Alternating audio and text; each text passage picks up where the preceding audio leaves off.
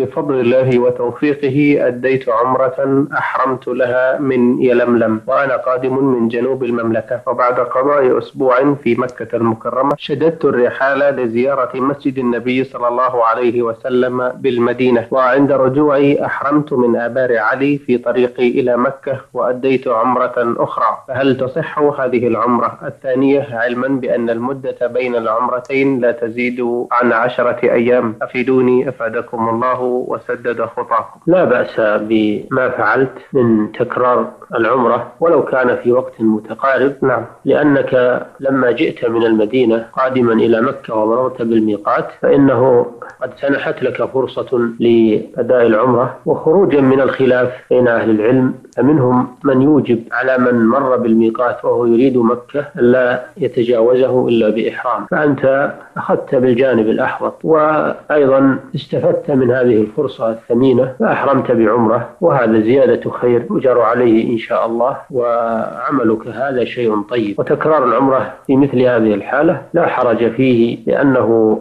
جاء لمبرر لأنك لما أردت الدخول إلى مكة ومررت بالميقات فإنه يستحسن لك أن تحرم بعمرة وقد فعلت والحمد لله نعم. لكن كونه أحرم من آبار علي مع العلم أنه أصلا قادم من جنوب المملكة لا يؤثر هذا؟ هو لما رجع من المدينة إلى مكة فيحرم من ميقات أهل المدينة لأنه يأخذ حكم أهل المدينة. نعم. بقوله صلى الله عليه وسلم لما حدد هذه المواقيت قال هن لهن ولمن مر ولمن مر عليهن أو أتى عليهن من غير أهلهن. فهو يأخذ حكم أهل الجهة التي جاء منها. نعم أحسن